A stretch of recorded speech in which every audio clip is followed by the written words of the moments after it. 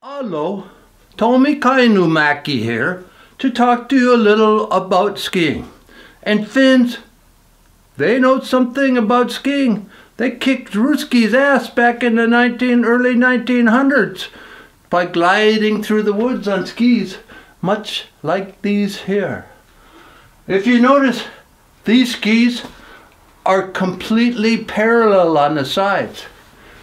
But today's skis have what's called a side cut. The tips are fatter than where you put your ski boot and the tails are also fatter. Combine that with the amount of camber in your ski.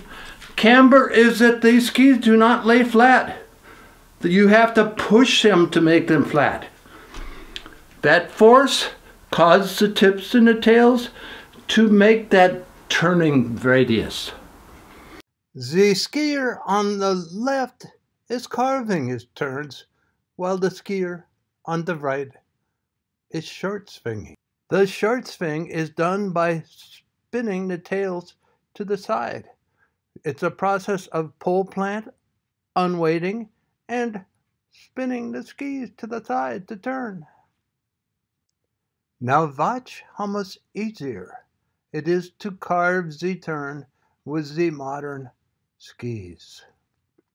Graceful and far less effort. In the slow motion, you can see the skier just sets his skis on edge and they carve the turn. And notice the angulation where his upper body remains, remains vertical. Let's hear it for Sisu. Go out there and ski your butts off.